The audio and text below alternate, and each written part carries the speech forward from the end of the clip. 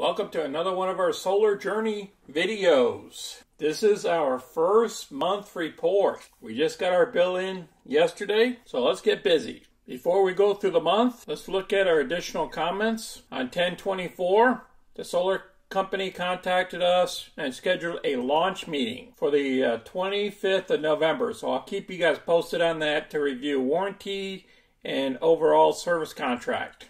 It's all going to be done by video conference, so I don't have to leave the house. Just a quick recap for the month. We had a total cost savings of 4255. We produced a little bit over 1238 kWs. For billing purposes, we were only billed for 461 kilowatts, as you can see down here as well.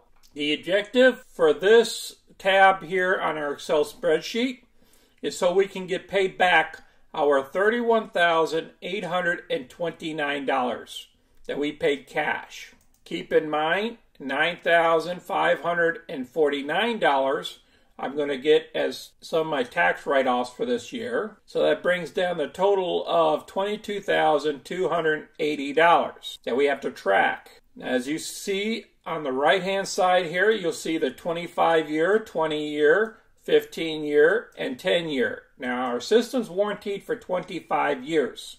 Now, if we got paid back in cost savings and everything of 70 about $75 a month in 25 years would be paid off the $22,280. Now, in the 20 year period of $93 would be paid off in 20 years. $124 of savings each month would have it paid off in 15 years. And 186, 85 would be paid off in 10 years. Remember, our objective here is to get paid back what we paid for our system. And this is very critical to your cost savings analysis because you want to know when you're going to recoup these costs. Remember, our original price was around $40,000 for the system, but because we paid cash, we only had to pay 31,829. So for the first month here, our first bill came in at $63.16. Now that also includes, if you look over here, it includes $9.95 fee not achieving 1,000 kilowatts in a given month. Now this contract runs out in January.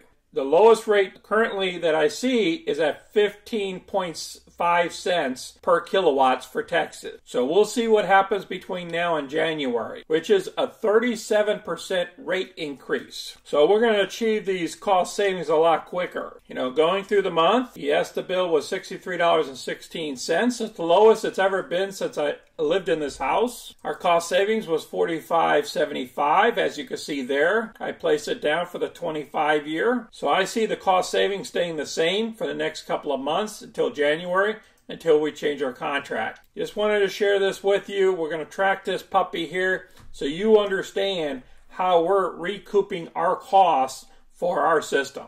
Now, please place down below any feedback that you might have, or tell us how your solar power is doing for you where you live to share it with others. Maybe solar is not great for some people versus other people. Until next time, folks, it is Sonny. I'm out.